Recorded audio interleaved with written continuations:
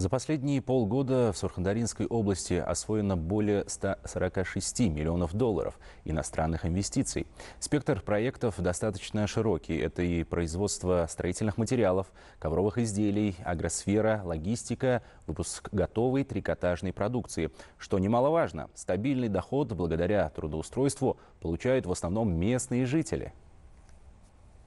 Согласно данным, в первом полугодии 2023 в Сурхандрии освоено более 146 миллионов долларов зарубежных инвестиций, в результате чего, к примеру, в Байсунском районе совместно с партнерами из Турции реализовали один из перспективных проектов по производству строительных материалов, а в Музрабадском и Джаркурганском районах организовывают хлопково-текстильные и картофелеводческие кластеры.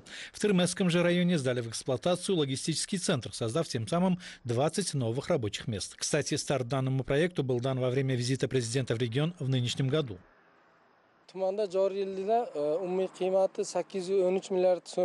В районе в этом году определено реализовать 37 проектов в общей сложности на 813 миллиардов суммов и создать тем самым 1057 новых рабочих мест. В первом полугодии уже запустили 8 проектов. Кроме этого, осуществляющими свою деятельность в районе более 20 иностранными предприятиями привлечены инвестиции на 7 миллионов 700 тысяч долларов.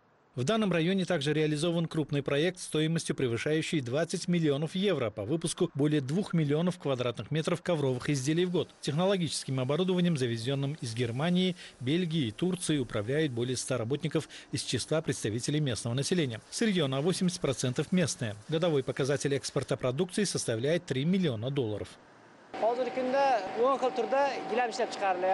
На сегодняшний день производится 10 видов ковров, 40% которых отгружается на экспорт. Годовая мощность предприятия равна 11 миллионам долларов. Мы готовимся реализовать очередной перспективный проект, что повысит качество и отразится на разнообразии нашей продукции. Тем самым будет организовано еще 150 новых рабочих мест. А на швейном предприятии в городе Термезе трудится свыше 300 представительниц прекрасной половины. Здесь выпускают широкий ассортимент трикотажных изделий, спрос на которые растет и за рубежом. Здесь я овладела профессией и теперь свободно выполняю свою работу. В настоящее время, к примеру, шьем детские куртки.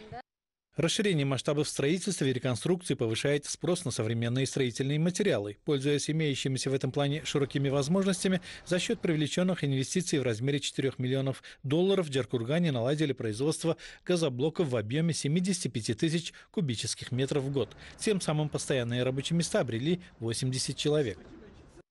А на территории малой промышленной зоны отдаленного Сарайсийского района реализуют 8 проектов почти на 4,5 миллиона долларов, что позволит в будущем производить ежегодно стройматериалы в среднем более чем на 67,5 миллиардов суммов. В результате же модернизации Тупалангской ГЭС общая ее мощность достигла 175 мегаватт, а это выработка 467 миллионов киловатт-час электроэнергии в год.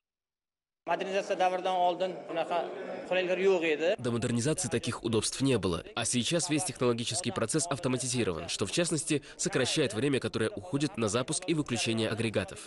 Работа по воплощению в жизнь перспективных решений в различных отраслях экономики продолжается с учетом имеющихся потенциальных возможностей каждой территории, что позитивно сказывается на их дальнейшем социально-экономическом развитии и в целом повышении благосостояния населения.